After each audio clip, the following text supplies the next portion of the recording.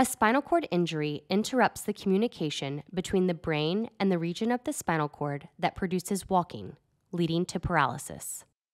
To reestablish this communication, we implanted two WIMAGINE systems composed of 64 electrodes to record the cortical activity associated with the intention to move the lower limbs. The electrocorticographic signals are transferred to a wearable processing unit that predicts the intended movements and translates these predictions into analog modulation of epidural electrical stimulation. This stimulation is delivered through a 16 electrode paddle lead that is implanted over the lumbosacral spinal cord and then connected to an implantable pulse generator. The participant was able to use this brain spine interface to walk naturally in community settings.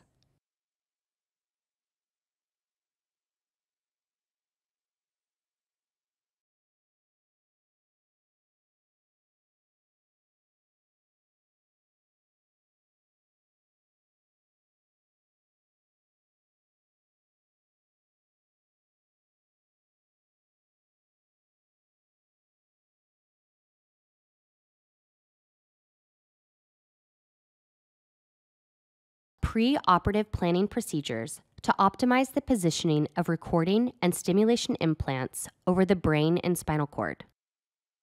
Pre-operative imaging of brain activity during attempted movements of the lower limb identified the region most responsive to the intention to move.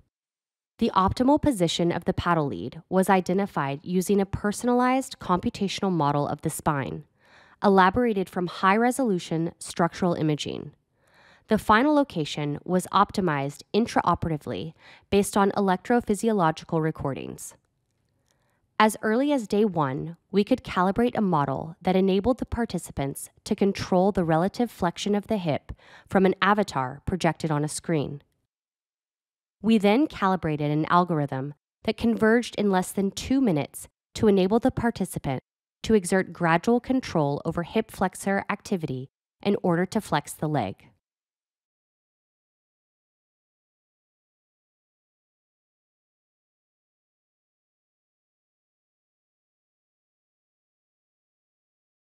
Next, we calibrated a brain spine interface that enabled the participant to walk over ground with crutches. When the BSI was turned off, the participant instantly lost the ability to step.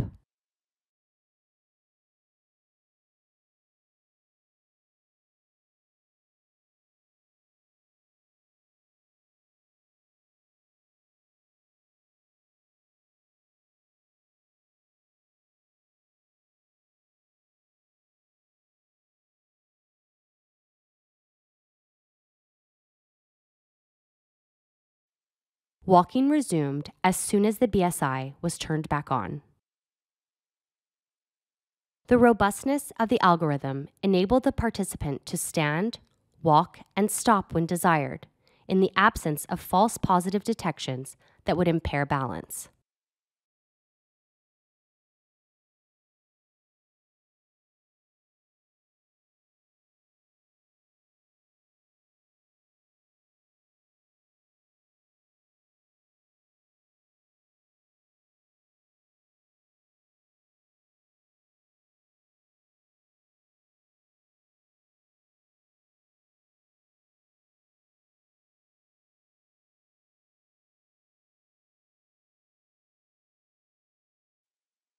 The brain spine interface enabled natural control of walking, even in complex and changing terrains.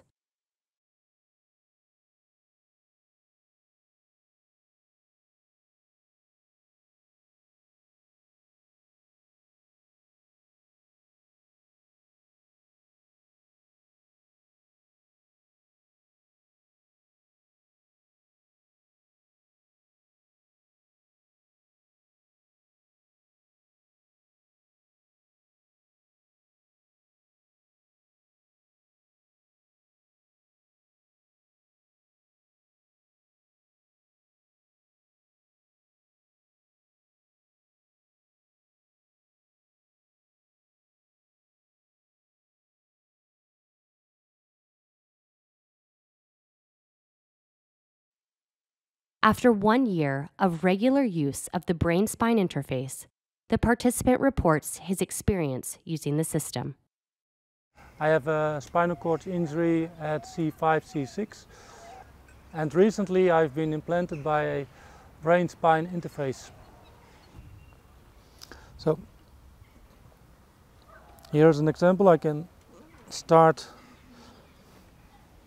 the stim with my brain I can talk while doing it. And if I want I can also maintain the stimulation while talking. I'm maintaining now.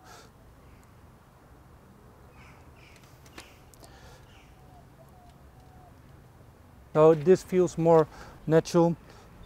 I can control the step length. I can stop here. I can make it bigger. It's it's freedom which I didn't have with the with the foot sensors before I can stop right now and I can continue whenever I want.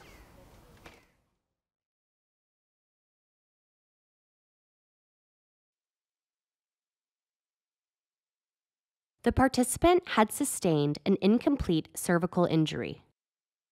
Seven years after his accident, and despite intensive physiotherapy, the participant could not walk independently.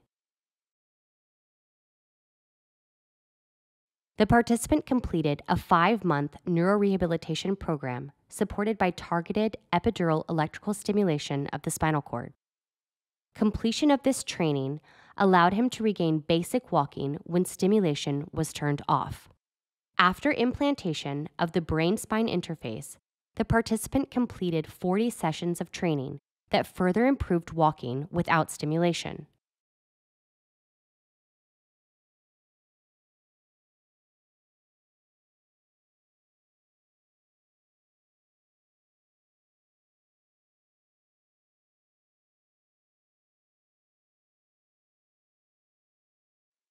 The participant recovered the ability to walk with crutches without assistance.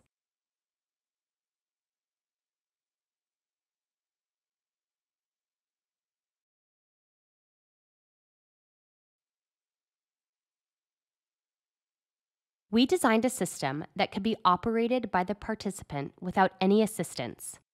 This system includes a walker equipped with an integrated case that embeds all the components of the brain spine interface.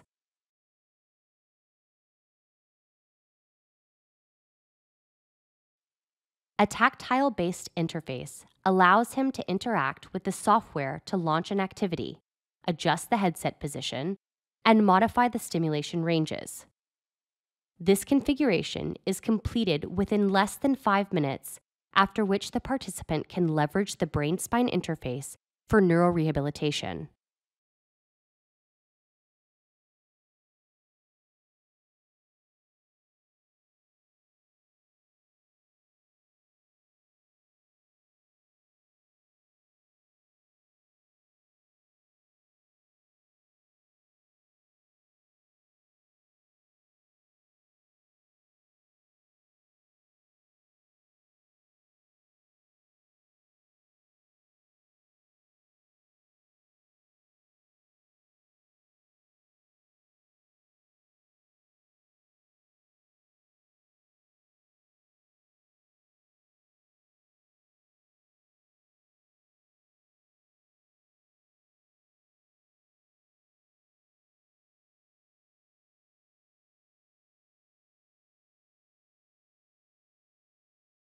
Or to support activities of daily living at home and in the community.